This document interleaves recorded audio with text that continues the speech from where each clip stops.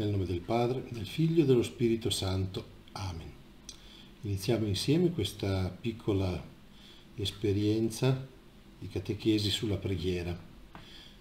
Quindi diciamo insieme una preghiera per domandare che lo Spirito ci aiuti in questo momento.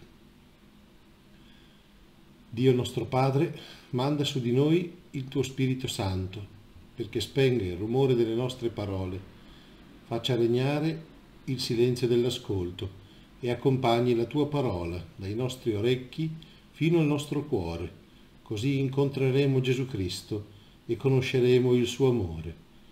Egli vive e regna, ora e nei secoli eterni. Amen.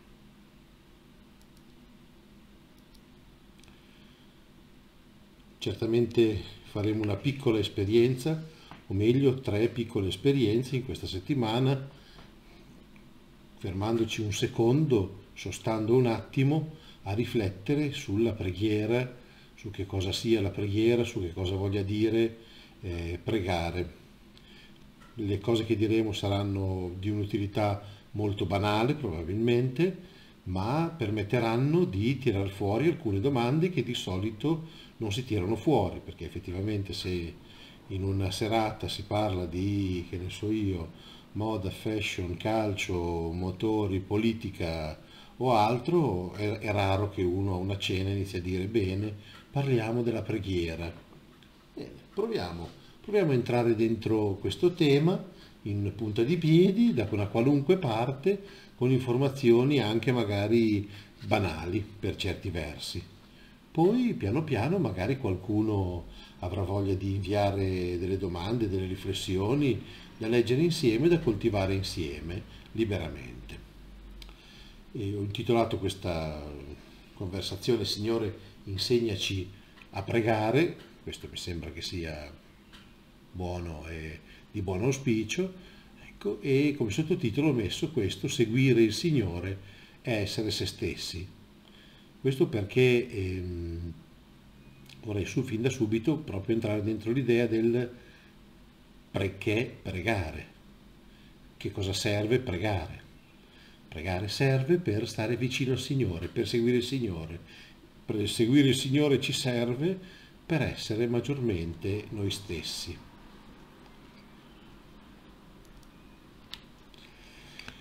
L'essere umano si sviluppa piano pianino e forma eh, in sé un io cosciente, un io cosciente di se stesso L'essere umano cresce piano pianino, si sviluppa come uomo, sviluppa un proprio io, una propria personalità. E poi chi ha studiato può raccontarvi tutte le varie fasi dello sviluppo, come prima il bambino abbia a cuore solo se stesso, poche storie, poi pianino pianino allarga gli orizzonti, riconosce la mamma, il papà, riconosce gli amici, riconosce la maestra dell'asilo o quella delle, delle elementari come inizia a tessere delle relazioni, come queste relazioni gli fanno anche capire qualche cosa in più di se stesso, perché lui si era fatto un'immagine di sé fatta in un certo modo, ma quello che gli altri dicono, gli altri che sono fuori di lui, eh beh, gli danno delle, delle idee importanti, delle dritte importanti. Ma l'ultimo, l'ultimo stadio è poi comunque sempre rientrare in se stesso perché gli altri possono dire quello che vogliono, ma chi decide chi sei, eh, devi deciderlo tu, ma non tu da solo.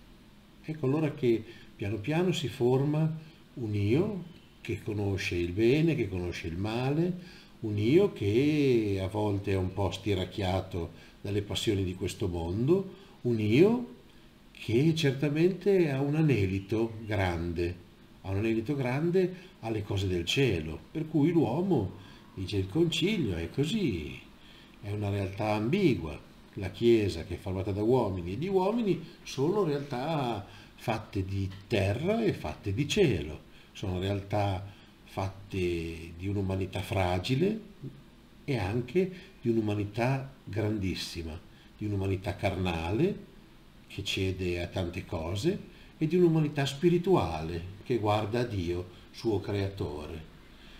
L'essere umano si sviluppa, cresce fino a un certo punto, poi dopo trova il comprendomio magari, si sviluppa, cresce, perché appena sposati si pensa di sapere cos'è il matrimonio e poi dopo 25 anni è meglio fare il tagliando e vedere se non si è cambiato qualcosa.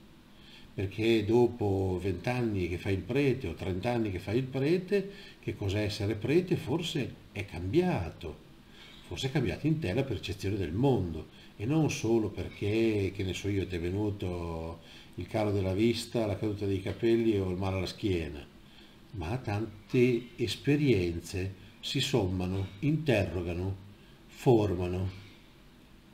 In ultima analisi, comunque l'uomo rientra in se stesso, rientra in se stesso e scopre l'ultima istanza che gli dice chi è veramente nella sua coscienza.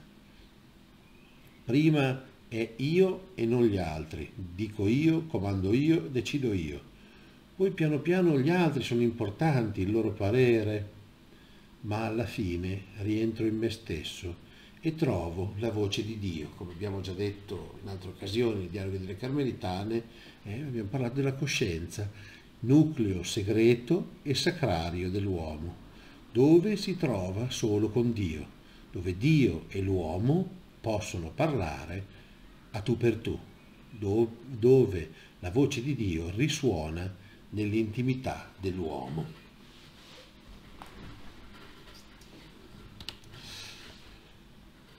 Per pregare, per pregare non ho il tempo, eh.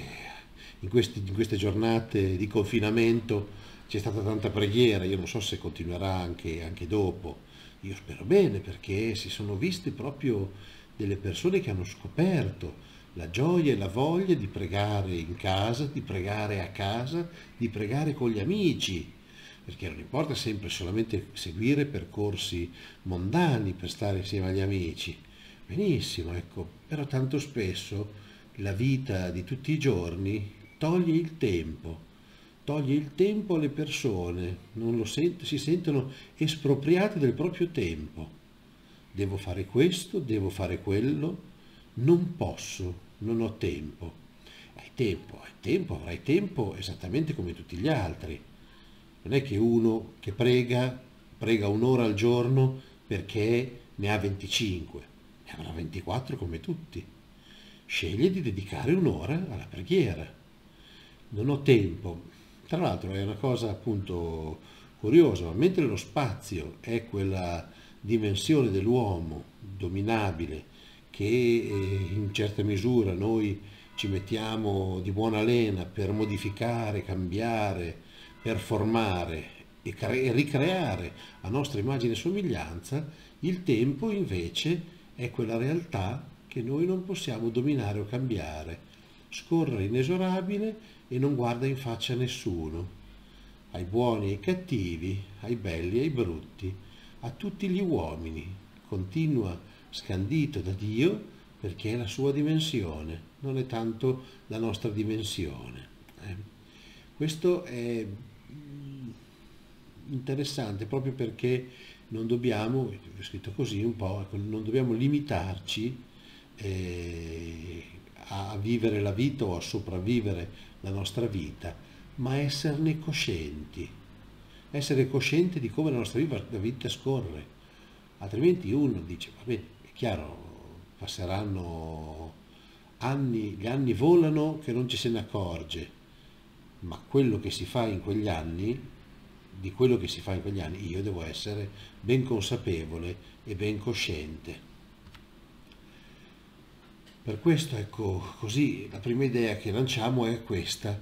Passiamo dalla, eh, dalle preghiere, dalla preghiera al pregare è una differenza sciocca, eh? ma eh, per me è importante il fatto che non dobbiamo dire delle preghiere, perché dire delle preghiere vuol dire usare formule, ma dobbiamo pregare, Beh, pregare anche con le formule. Passare dalla preghiera al pregare è comunque passare da un sostantivo, la preghiera può essere una cosa, un cartoncino, un libro, un manuale, una pergamena quello che è, a un'azione, a un gesto, pregare. La, la preghiera esiste sui banchi della chiesa, lì lasciata alla mercé di chi la usa, ma è chi la usa che prega, che passa al pregare. Ecco allora questa dimensione attiva e vivente fa parte integrante della preghiera. La preghiera non può essere mai una realtà morta. Per questo chiede attenzione, non perché Dio sia invidioso o geloso se noi abbiamo altre attenzioni. Se durante la preghiera io mi distraggo, benissimo, capito, poi lo confessiamo al confessore, benissimo, giustissimo, giustissimo, ma io sto facendo la preghiera, sto pregando, sto pregando magari male, sto pregando distratto, sto pregando disattento, ma io sto agendo la preghiera. Se la considero una cosa, insomma, alla fine dei guai, tante cose fatte bene o fatte male sono poi fatte, ecco. Mm, se invece la considero una parte stessa della mia autocoscienza, del mio essere consapevole di me stesso, allora è un po' diverso.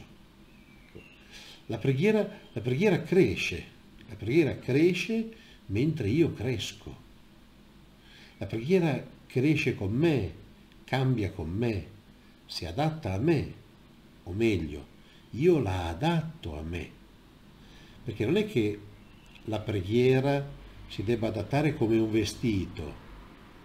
Oh, sono ingrassato, sono dimagrito, ho cambiato taglia, vado in un posto dove vendono i vestiti secondo quella taglia.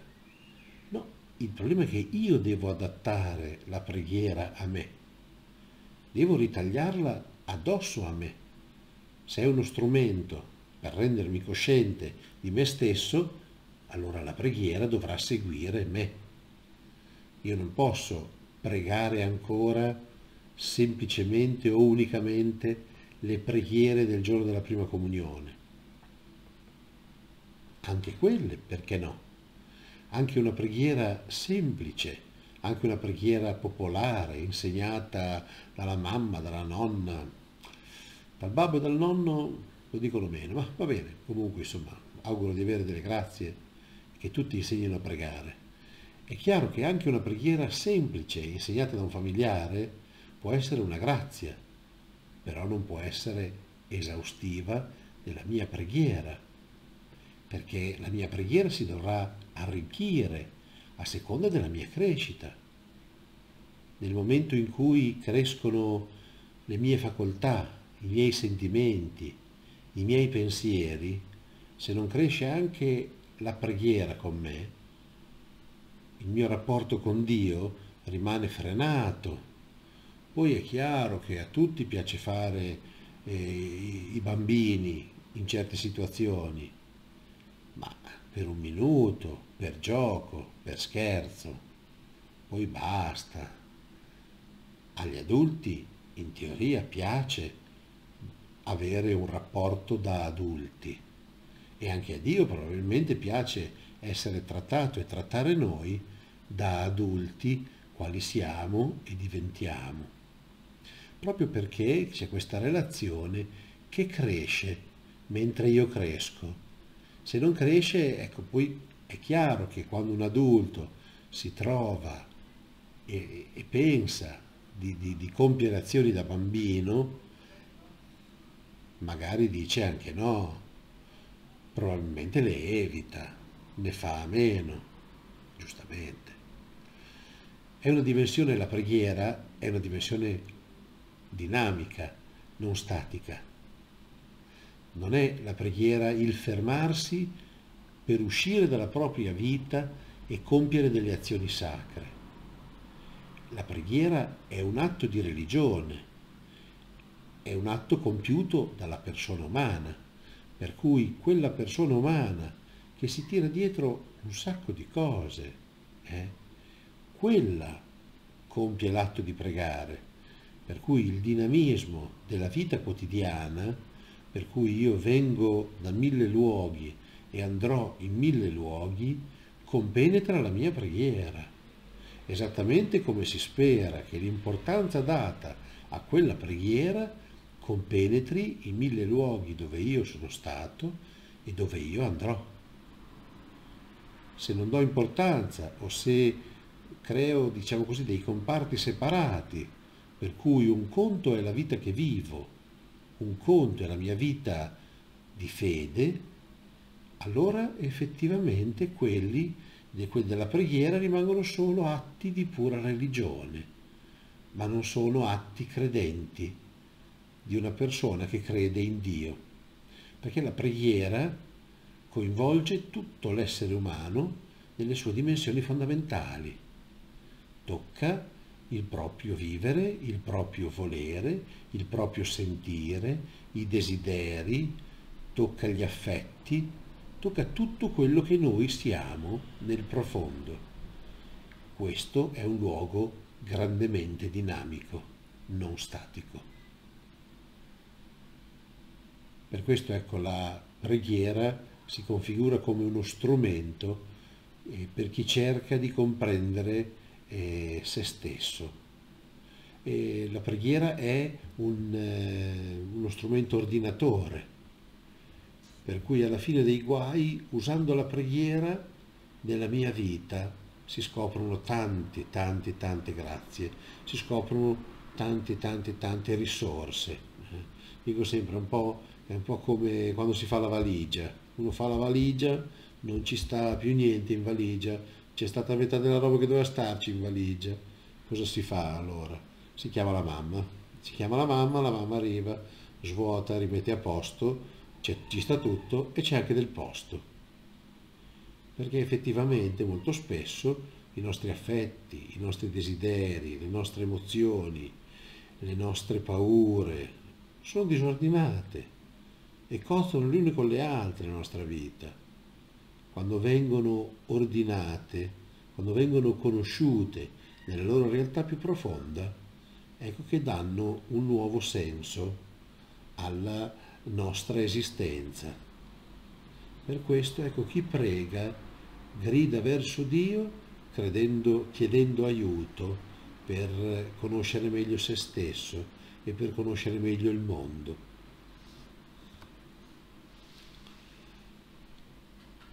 La preghiera quindi ha un eh, aspetto eh, dinamico, ha un aspetto dinamico tra poli anche opposti. Beh, c'è il eh, silenzio e la parola. La preghiera nasce dal silenzio, non nasce dalla parola, perché appunto non nasce da quello che io dico per formare il mondo, ma nasce da quello che io cerco di ricevere per comprendere me stesso. Per questo io, io, io, io, io, io, io, io, io, dovrò imparare ad ascoltare, dovrò imparare a fermare me stesso e, e ad ascoltare quello che mi viene detto, quello che mi viene dato, quello che mi viene dato come aiuto per comprendere il mondo che mi circonda. Dall'ascolto Dall'ascolto nasce poi, o corrisponde all'ascolto meglio, la parola. Eh. Se a Dio che si rivela è dovuta l'obbedienza della fede, beh, l'obbedienza della fede che si, tras- che si trasforma in ascolto, la ob- audienza, l'obbedienza, eh, chi si rende disponibile nell'ascolto riceverà una rivelazione.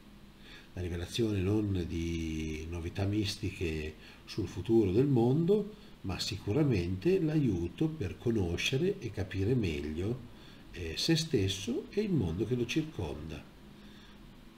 Silenzio e parola, uniti in un dinamismo, come in una riga musicale, i pieni e i vuoti sono, danno meglio vita all'armonia.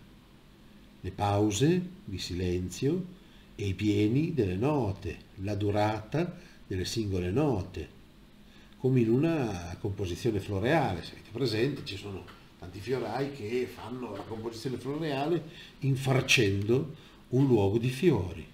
Ma chi sa creare la bellezza con i fiori mette alcuni fiori e, e crea dei vuoti e dei pieni, crea un ritmo, crea un'armonia attraverso cose strane che io non capisco, non conosco, quindi sicuramente non ne parlerò.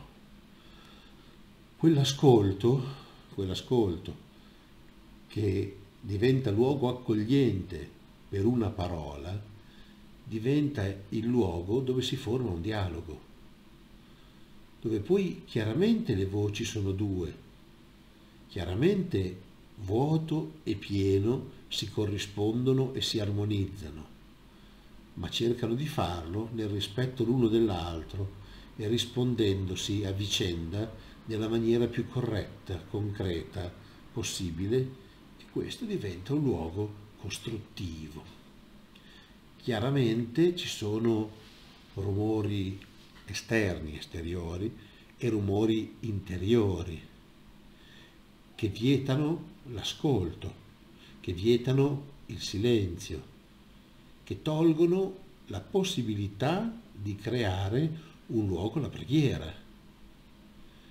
E, è chiaro, abbiamo detto che veniamo da mille situazioni ed è chiaro che quelle mille situazioni devono essere parte integrante di quello che noi eh, viviamo e di quello che noi preghiamo.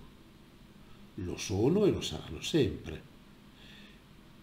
Forse il problema è un altro, è quando diventano semplicemente rumore, è quando diventano non luogo fertile per l'ascolto, ma quando diventano luogo sterile che impedisce l'ascolto, che allontana l'ascolto, luogo che vuole un'attenzione non eh, adatta alla possibilità di rivolgere il cuore a Dio.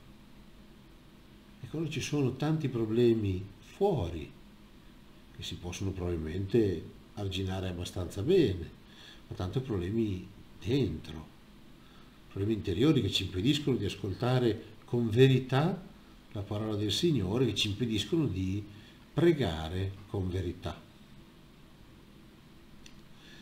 Perché quel silenzio alla fine è la ricerca di una voce, è chiaro che la solitudine piace a tutti, poco alla volta. Eh? Eh, è bellissimo, ah, non vedo l'ora di stare un po' da solo. Sì, eh, perché è una vita convulsa, ma quando uno poi deve stare veramente da solo o non ha nessuno attorno, non ha nessuno che lo cerca, non ha nessuna voce amica che lo cerchi, è veramente dura. Noi abbiamo la grazia nella preghiera di vivere l'esperienza della ricerca della voce di Dio. Come dice Salmo 26, poiché se tu non mi parli, io sono come uno che scende nella fossa. Si potrebbe dire che il silenzio è una condizione innaturale, ma eh, il problema è qual è allora il rumore naturale?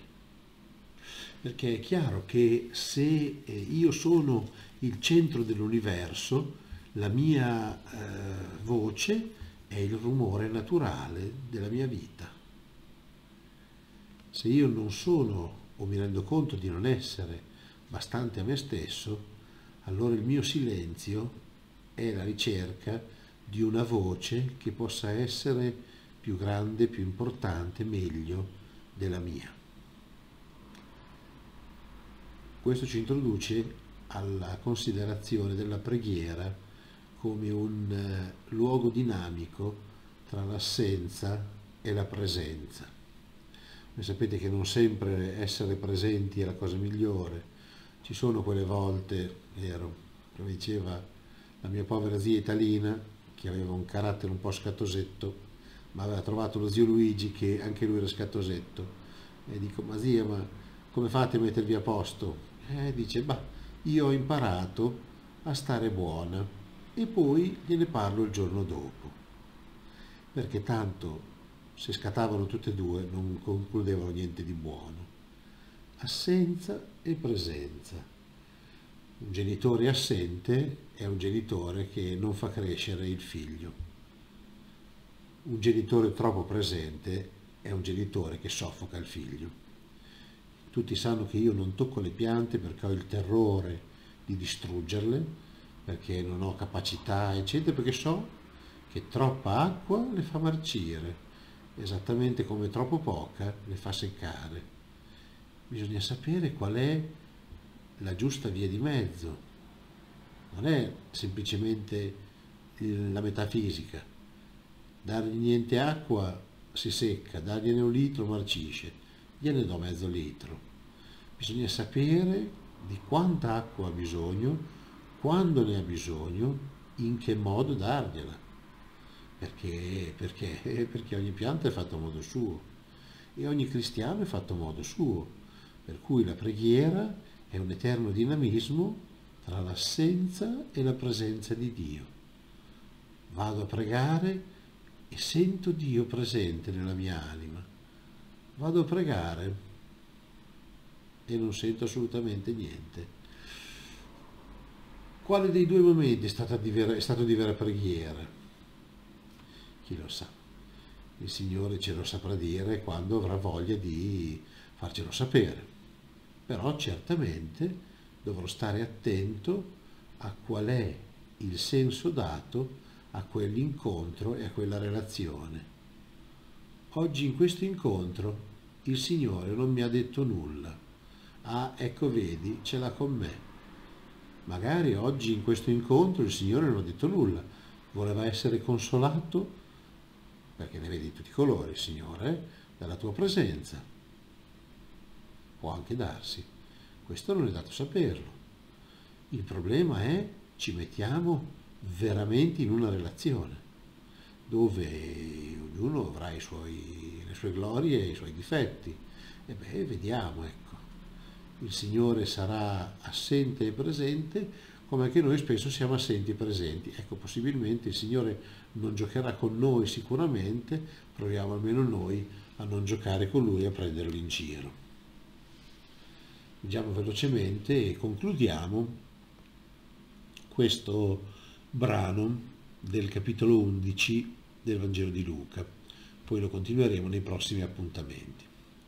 Un giorno Gesù si trovava in un luogo a pregare e quando ebbe finito uno dei discepoli gli disse Signore, insegnaci a pregare come anche Giovanni ha insegnato ai suoi discepoli. Egli disse loro, quando pregate dite, Padre, sia santificato il tuo nome, venga il tuo regno. E poi continua il Padre nostro, il Vangelo di Luca, sapete, leggermente diverso da quello che conosciamo tutti di Matteo. Ecco, Gesù un giorno, un giorno, eh, non era fuori dal tempo, o uscito di senno. Gesù un giorno, che giorno era? Era un giorno, eh, oggi è martedì, domani è mercoledì, non so che giorno era di preciso, ma era un giorno, era un momento. Gesù pregava la mattina, pregava la sera, pregava... deve esserci un momento, non può essere così lasciato al caso. Nessuno ti, ti dirà, ecco, hai un momento, lo devi prendere, lo devi programmare, lo devi scrivere. Poi è chiaro che eh, non è che il momento della preghiera può essere una scusa per eh, non assolvere i propri doveri, doveri di lavoro o doveri familiari o doveri, doveri che ne so io quali sono. Però ci deve essere un giorno, un tempo, un momento se è possibile che sia determinato. A scendere a patti si fa sempre a tempo, non è un problema. Un giorno Gesù si trovava in un luogo mm,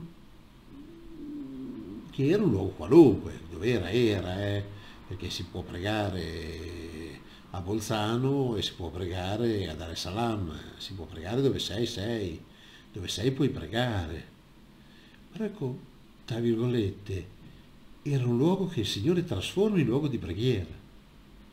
Ehm, è vero che in qualunque luogo si può pregare, però poi Gesù si allontanava anche da, dalla casa per andare a cercare un luogo solitario in cui pregare. E già a casa sua, faccio per dire, si stava bene, ecco. Già nelle case che lo accoglievano poteva chiudere la porta e pregare. Benissimo, può essere la tua camera, benissimo può essere la tua sala, ma benissimo può essere la chiesa da cui passi di fronte, che ne so io, per, o la chiesa parrocchiale o qualunque cosa, un luogo, un luogo determinato. Se è possibile, un luogo preparato, un luogo che sia determinato non solamente fisicamente, ma anche dall'affetto, con qualche piccolo segno, eh, per creare per noi uomini fatti di carne un riferimento che ci sia eh, conforme. Ecco, un giorno Gesù si trovava a pregare e quando ebbe finito i discepoli domandarono, lo chiesero, lo desideravano, Signore insegnaci a pregare, perché a pregare non si nasce imparati, non è una cosa che viene spontanea. Poi è chiaro, non so come dire, eh, viene spontaneo quando c'è bisogno di alzare le mani al cielo, viene spontaneo da accendere la preghiera, ma pregare, non dire le preghiere, pregare non viene spontaneo. Signore, insegnaci. Quella di Gesù è una scuola di preghiera, perché è una scuola di ascolto del Padre, è una, scuola, è una scuola di dialogo col Padre, è una scuola di conformarsi alla volontà del Padre. Il Signore Gesù continua, continua, continua, perché tutti capiscano, quando pregate dite Padre. Perché capire che Dio è nostro Padre, non che si vuole far chiamare Padre, chiamatemi Padre, non perché desidera avere un appellativo o un ruolo, ma perché ha una verità da dire. Dio è nostro Padre e non vuole abdicare a questo che ha assunto come suo dovere personale. Per questa sera eh, concludiamo qua, la prossima occasione continueremo a leggere il Vangelo di Luca capitolo 11.